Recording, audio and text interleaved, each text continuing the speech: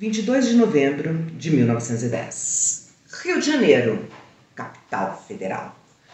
Eclodiu um tiro de canhão. A população apavorada, desesperada. Meu, o que está acontecendo? Um tempo depois, outro tiro e alguns estragos. E o presidente Hermes da Fonseca, desesperado, apavorado. O que está acontecendo neste Brasil?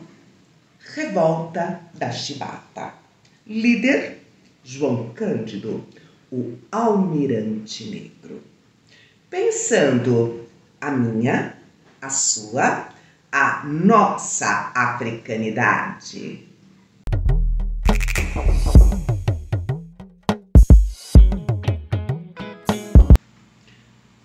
Cândido Felisberto nasceu no dia 24 de junho de 1880. Filhos de pais escravizados, um menino pobre que não teve acesso aos estudos. Aos 10 anos de idade, ele foi para Porto Alegre na companhia do almirante Alexandrino Alencar.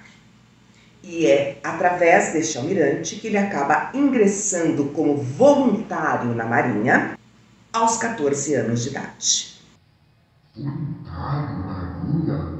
Como é que funcionava a Marinha neste momento? No início do século XX, a Marinha brasileira era caracterizada por salários baixos, alimentação extremamente precária, além de longas viagens em navios. Desta forma, voluntariamente as pessoas não ingressavam na Marinha. Por isso, era adotado recrutamento forçado. E quem era recrutado de forma forçada para ingressar na Marinha? Jovens excluídos e marginalizados, ou seja, a população negra, que compunha de forma hegemônica as baixas patentes da Marinha. A elite, o oficialado, era composto por brancos, que tratava essa população negra de forma preconceituosa, incluindo inclusive castigos corporais. É nesse contexto que o João Cândido vai viver o que hoje nós chamamos de adolescência e que para ele se configurou em uma vida adulta. A Marinha Brasileira, quando ele ingressou, ela vivia um processo eh, que se autoimpunha de correcional desses grupos marginalizados que na prática invisibilizava corpos negros dentro de um projeto de embranquecimento. E as punições, elas eram feitas da seguinte forma para baixa oficialidade. Prisão em solitária a pão e água para os crimes mais leves e para os crimes mais pesados, 25 chibatadas. É nesse contexto que o João Cândido vai vivenciar a sua formação profissional. Ele viajou por três continentes: Europa, África e América. Ele esteve presente na missão Brasil-Bolívia na disputa do Acre. Ele foi para a Inglaterra e na Inglaterra ele foi aprender a trabalhar com os grandes navios que o Brasil estava comprando naquele período. Na Inglaterra, ele entra em contato com os marinheiros ingleses, além de toda uma contextualização política que a Europa estava vivendo no início do século XX. Ele acompanhou pelos jornais as revoltas que aconteciam em território russo, a revolta do encoraçado Potemkin. E ele descobriu uma coisa maravilhosa: que os marinheiros também eram sujeitos de direito e que mereciam ser respeitados enquanto cidadãos. O estopim da revolta aconteceu quando Marcelino Nogueira da Fonseca foi condenado a 250 chibatadas. Foram feitos vários pedidos para que o castigo não fosse aplicado. Mesmo assim, foi aplicado. O rapaz chegou a desmaiar durante a aplicação do castigo e, mesmo assim, ele não foi interrompido. Sim, esse é o estopim. Mas é o estopim de um movimento que vinha sendo articulado há dois anos. Não podíamos admitir que na Marinha do Brasil um homem ainda tirasse a camisa para ser chibatado por outro homem, diz João Cândido. Eles apontam os canhões para a cidade do Rio de Janeiro e reivindicam melhores salários, anistia aos revoltosos e fim dos castigos corporais. O governo foi pego de surpresa. O Brasil é um país eurocêntrico, de expectativas branquicêntricas e que submete corpos negros, mas que não se reconhece. Quando o movimento feito por João Cândido veio a público, foi uma comoção geral. Todo mundo ficou estarrecido. Como a Marinha, com aqueles jovens tão elegantes, poderia submeter as pessoas a um castigo tão cruel? E o João Cândido sai do anonimato às principais páginas de jornais. Está se construindo o nosso herói. 22 de novembro de 1910. Foi um dia glorioso, porque esta baixa oficialidade negra a bordo dos navios Minas Gerais, São Paulo e Bahia desfilavam pela Baía da Guanabara, mostrando não apenas a sua presteza no comando desses navios, mas mostrando que está tudo dominado. Ou vocês atendem às nossas reivindicações, que são absolutamente justas, a gente vai botar tudo abaixo. E a população? A população olhava tudo aquilo com um misto de pânico e uma grande expectativa. Era um pânico, porque ninguém sabia o que ia acontecer. Ao mesmo tempo, era uma expectativa e um deslumbramento com aqueles navios e suas bandeiras, mostrando que o povo, sim, consegue se unir e consegue se revoltar.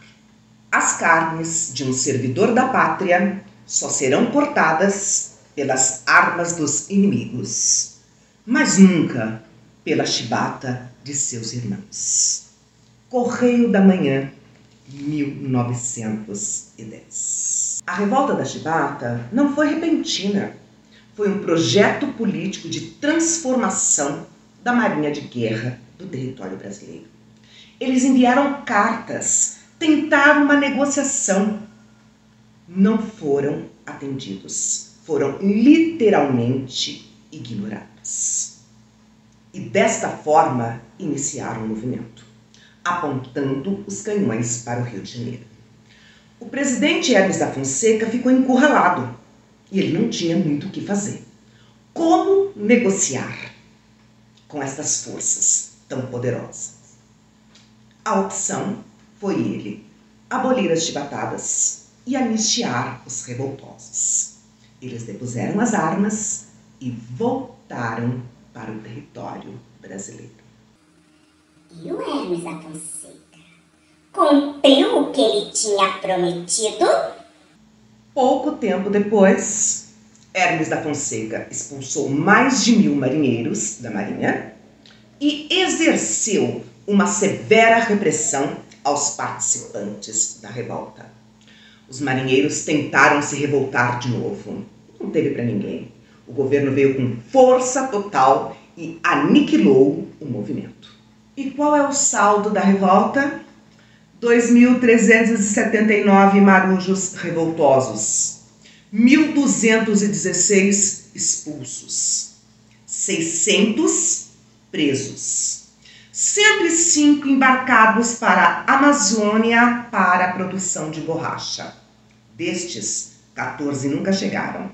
Foram fuzilados e seus corpos jogados ao mar. E o João Cândido, saiu do anonimato para as páginas dos jornais como grande herói, depois foi preso e punido dentro do rigor institucional. Ou seja, colocaram ele em uma cela com mais 16 companheiros, sem água, sem comida e debaixo de um sol escaldante, por três dias. Como o cheiro era muito forte, Mesmo porque eles não saíam para absolutamente nada, eles tiveram uma ideia brilhante. Jogaram cal dentro da cela para desinfetar a cela. Só duas pessoas sobreviveram, entre elas João Cândido. Como ele estava muito debilitado, resolveram interná-lo no hospital. Internaram no Hospital dos Alienados, um hospício. Ficou preso por algum tempo dentro desse hospício.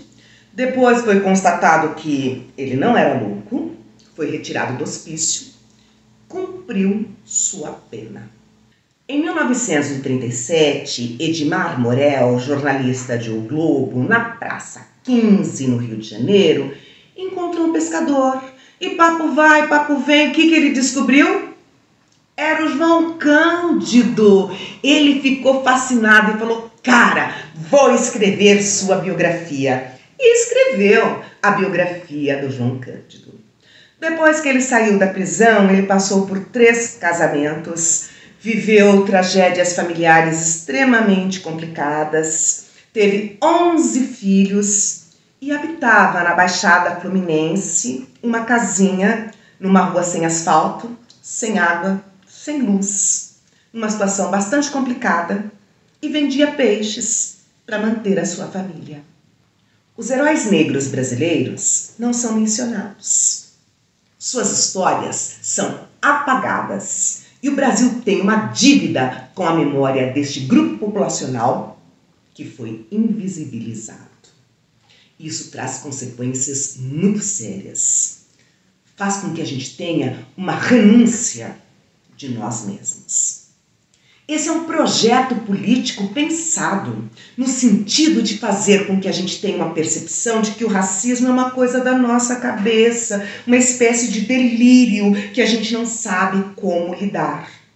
Na prática, ele é extremamente presente, violento e institucional. Diversas pessoas tentaram escrever as memórias do João Cândido e a da sua participação na revolta da Chibata Dentre eles, o Barão de Tararé, que resolveu fazer um folhetim. Ele foi misteriosamente sequestrado e espancado.